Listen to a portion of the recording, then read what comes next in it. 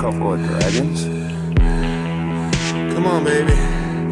Keep smoking. Oh yeah, I got a number over here. Look at that.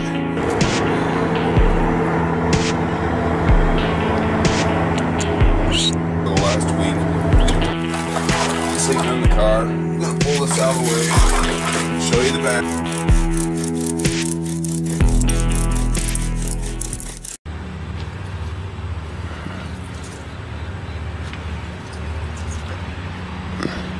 Hey guys, Andy here.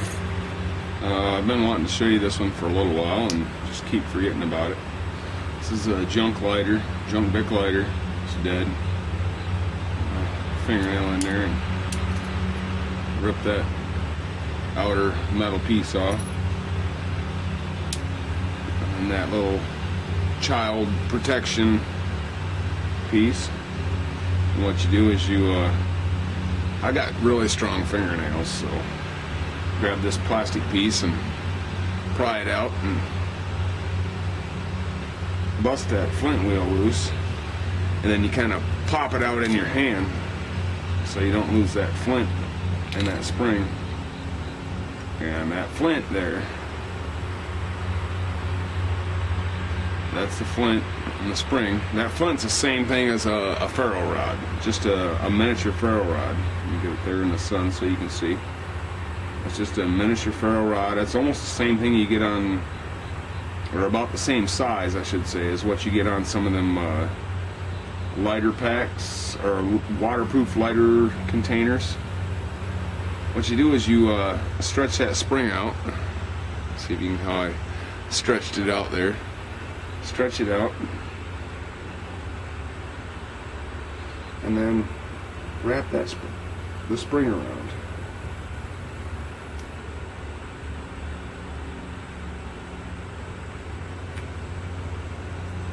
Wrap the ring, the spring around the flint, so it's uh,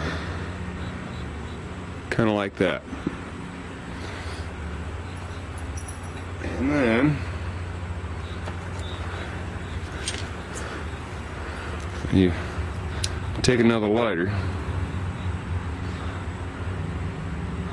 and heat it up.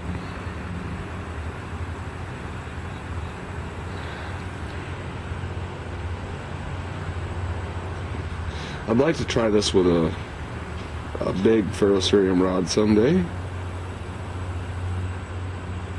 I think it would be kind of cool. Alright, now you see it's starting to glow red there. Once it's glowing red, just a cool trick I thought I'd show you.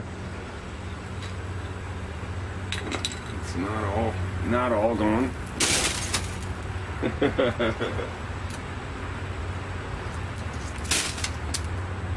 but just kind of cool.